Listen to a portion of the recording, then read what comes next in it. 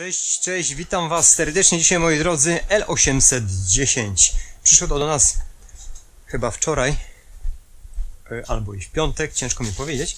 Trzeba było zobaczyć co można dla tej drukarki zrobić. A przede wszystkim czy jest to błahy temat czy nie. Nie wiem czy tam były jakieś robione e, rzeczy typu udrażniania, no tego nie wiem, ale zobaczymy i w jakiej kondycji przede wszystkim ta drukarka jest i co co możemy dla niej zrobić, czy to teraz, czy to w jakiejś dłuższej naprawie. Nie ukrywam, że ten czas, jaki ostatnio uciekał między palcami, to teraz ucieka jeszcze bardziej. Ale dobra. L810. Tutaj mam mało miejsca i tu już jest naszykowany sprzęt, ale myślę, że to sobie poleży na chwilę tutaj. I zabieramy się za L810. Jest to dużo formatowy chyba sprzęt. On ma Albo mi się wydaje, albo duży karton. Ja coś takiego już kiedyś na kanale miałem. Nawet widza, którego próbowałem udrażniać. Natomiast chyba tam, o ile dobrze pamiętam, ciężko było z dojściem do ładu z tą głowicą. Jest tu układ cisowski. Bardzo wydajna jest ta drukarka. Print and photo. I zobaczymy, co ona nam pokaże. Czy w ogóle będzie chciała współpracować, to zostawmy jakie były też czynności w niej wykonywane, bo zawsze mnie częstuje się sprzętami, które już coś robiły. Tutaj na przykład mam 6510 DW, stary model drukarki A3 Brodera. Tyle było do wczoraj. Jeszcze widzicie, rozrzedzony jest ten czarny, natomiast yy, te głowice miały to do siebie, że udawało się robić L810. Dobra. A, tutaj mamy już nawet, klient zrobił wydruk. Barwy. Czerwonej chyba brak. Zauważcie. Total Pay 1657. Aha, tutaj jest 1556 i tu było dość dobrze, natomiast tu jest kiszka. Mam też taki sprzęt, ostatnio też klientowi wydałem, no i tu jest tak. Czyli są, jest problem, im, im wydruk jest późniejszy, zapieka się. Jest to bolączka tych urządzeń. Raz, dwa, trzy, cztery, pięć, tak, to jest L810 ma 6 barw pośrednich jeszcze wydruk na płytach. No jest sprzęt fajny, jak nie sprawia problemów. Natomiast jak sprawia problemy, powiem Wam szczerze, że nawet jak uda się uzyskać, no to już się coś lało, uda, uda się uzyskać dobrą barwę i cieszymy się tym doskonale, to po paru dniach może ona zaniknąć. I to jest... I to doskonale o tym wiem, bo niedokrotnie wydaje mi się, że temat już mam zamknięty, a rzeczywistość całkowicie in, inna się okazuje. Trochę się wylało, ale to chyba podczas poprzedniej jakiejś interwencji serwisowej. Takie mam wrażenie, widzę tusze, y, do niej są refill, czyli są to tusze, nie są oryginalne. Też nie jest to zasada, że tylko na oryginałach może wszystko działać. Zależy też jaki ten zamiennik, prawdę mówiąc, y, jest. Choć kabel wezmę. Przewód weźmiemy, zobaczymy teraz po tym transporcie do mnie jaki, jaki, jaka będzie wyrazistość. E, mówię, no ostatnio miałem modę chyba 365, doszła do mnie, bo kupiłem ją jako używaną z, na dawce części, a okazało się, że wydruk, słuchajcie, po wyciągnięciu z paczkomatu jeszcze w najbardziej gorącym miejscu, chyba w tym miasteczku, okazał się być rewelacyjny. Byłem wręcz zadowolony, ale no niestety zweryfikował to czas i po kilku dniach nawet MMS-a wysłał, bo tą drukarkę, prawdę mówiąc, podarowałem mu, że nie jest tak fajnie, jak było na początku.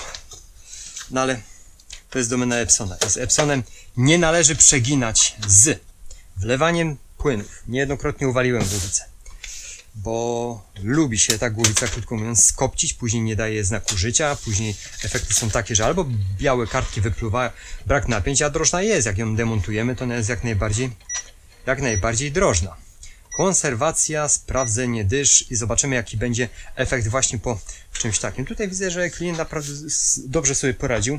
Ja bym mógł demontować tą głowicę, sprawdzę, jeżeli nie wydrukuję nic, zabiorę się za demontaż tej głowicy i wtedy spróbuję mm, cokolwiek zrobić dla niej, żeby udrożnić. Ale jest taka jedna niewiadoma, czy po tej całej procedurze to po prostu ruszy i, i koniec.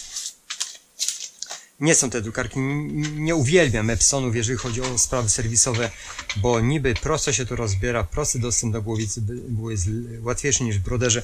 W tym akurat modelu można w broderze tym starym wyciągnąć głowicę bezpośrednio z tej strony, y, z tej strony tak, wyciągając to wszystko. Nie jest to proste, bo trzeba na dwa razy robić prawa, lewa strona i wyciągniemy ją, nie trzeba cały rozbebeszać.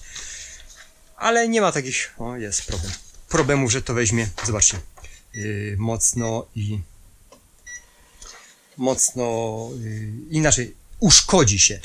Bardzo mało prawdopodobieństwo. Mnie się bynajmniej broder nigdy nie uszkodził. Aha, to muszę dzisiaj wysłać, to już wiem. I tam to wysłać i jestem załatwiony, jak i również nowe produkty, które konstruuję.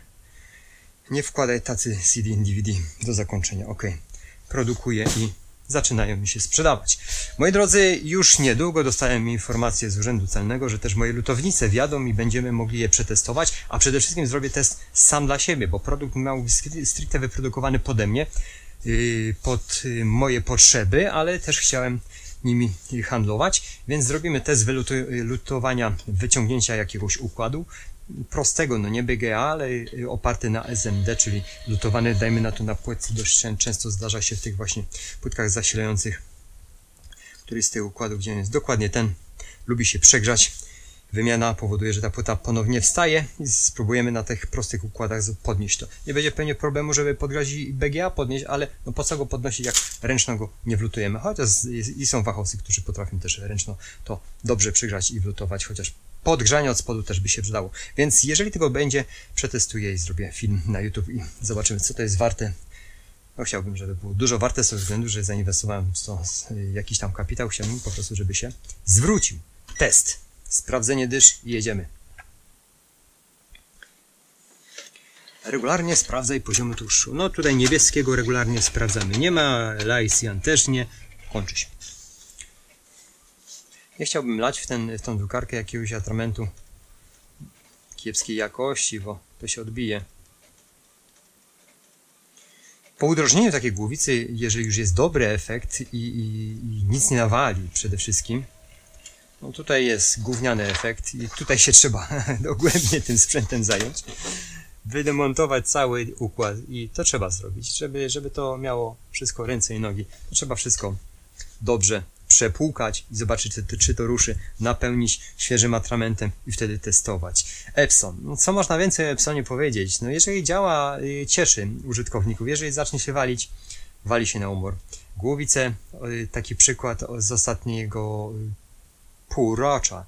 Zamawiane nowe głowice w Chinach. Uwierzcie mi, do dzisiaj nie dostałem ani jednej sztuki, straciłem pieniądze. Nie ma czasu też się zająć jakąś tam dyskusją określoną a propos tych atramentów. No ale to są takie rzeczy, które my przedsiębiorcy jesteśmy skazani na pewne, na pewne mm, straty, które są wpisane w cały biznes. No tutaj jest trochę pracy z tym. Zabiorę się za to dzisiaj i mam nadzieję, że po kilku dniach jak to zostawię uzyskam chociażby taki wydruk, że on również po kilku dniach będzie taki sam. Nie jest to takie pewnie w Epsonie, także chyba, że wy macie lepsze sposoby na Epsona. Demontując, mocząc, zakładając, czasami jest daddy spalona, yy, czasami taśmę, którą wtykamy, zaraz jest usmażona, ona musi być sucha, wsadzana i tak dalej. Także no jest tutaj dość sporo tego wszystkiego. Sama drukarka jest fajna, ma nalewane atramenty, barwę foto można powiedzieć, że zdjęcia drukowała w latach świetności naprawdę fajnie, wydruk nawet na CD. No z kart pamięci tych rzeczy to tam nie ma co się podniecać, bo to żadna podnietka. Dziękuję za atencję, zapraszam do grupy printowcy, jeżeli macie L810, podzielcie się spostrzeżeniami, jak, jak one przede wszystkim Wam służą, czy dobrze, czy też nie. Dziękuję, dzięki, cześć.